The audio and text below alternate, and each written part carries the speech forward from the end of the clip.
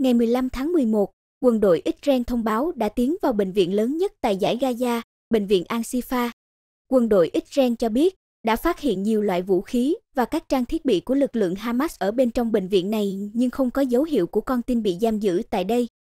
Quân đội Israel thông báo trên mạng xã hội, trong quá trình tiến vào bệnh viện không xảy ra va chạm giữa các binh sĩ và bệnh nhân. Ít nhất 5 tay súng Hamas thiệt mạng trong cuộc đỏ súng bên ngoài bệnh viện. Quân đội Israel cho biết đã chuẩn bị kỹ cho cuộc bố ráp, đề phòng giao tranh khốc liệt nhưng thực tế điều này không xảy ra. Các thành viên của phong trào Hamas tại bệnh viện này đã đầu hàng. Trước làn sóng phản đối từ dư luận, Israel tuyên bố sẽ chỉ tấn công chính xác và có chọn lọc nhằm vào các tay súng Hamas. Quân đội Israel còn cho biết đã đưa theo các đội hỗ trợ thực địa gồm các nhân viên y tế, những người nói tiếng Ả Rập được huấn luyện đặc biệt để huy động tới môi trường phức tạp và nhạy cảm.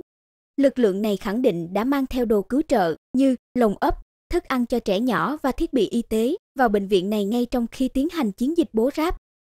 Cơ quan y tế giải Gaza đã kêu gọi cộng đồng quốc tế và Liên Hợp Quốc lập tức can thiệp và nhanh chóng ngăn chặn chiến dịch của Israel. Tổ chức Y tế Thế giới WHO thông báo đã mất liên lạc với các nhân viên tại bệnh viện Al-Shifa sau khi lực lượng Israel bố ráp cơ sở này. Trước đó, Hội đồng An ninh Nhà Trắng ra thông báo khẳng định Washington không ủng hộ không kích bệnh viện và không muốn giao tranh xảy ra ở bệnh viện.